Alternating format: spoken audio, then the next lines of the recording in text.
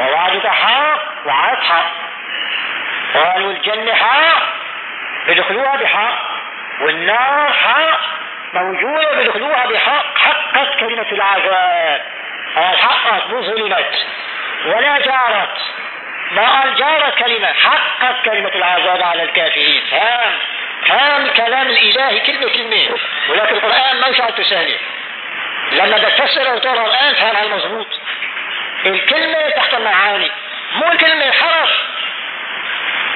شلون إذا ما تقرأ آه صاد نون.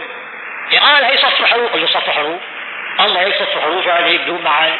لكن انت مجنون. أنت جاهل ما بتفهم. سأل الله يفهمك.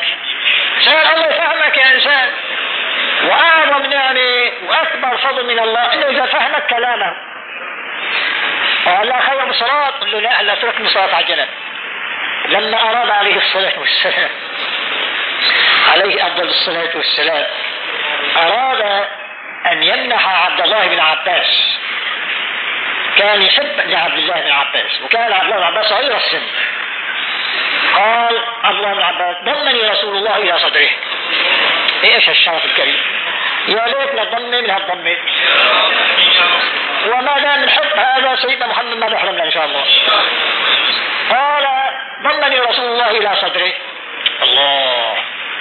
حبا وعصفا وأيضا إفاضة بفيض عليه صلى الله عليه وسلم. أي إفاضات. إيش قال؟ ضمني رسول الله عليه صدره وقال اللهم علمه الكتاب والحكمة. القرآن والحكمة السنة. في رواية اللهم علمه تأويل. أي معاني القرآن. فهموا معاني القرآن اللي أنت يا ربي بترتضيها. مو كان يدعي له بالمال أكثر له لك إيه مال إيه دنيا ولك وين ما يبطوشي لك هات السعادة هنا.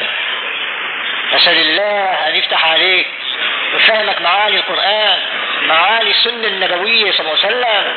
هذه حكم عالية علوم قدسية ربانية عالية إنسان وهذه محتاجة دائما تستمد من رسول الله صلى الله عليه وسلم.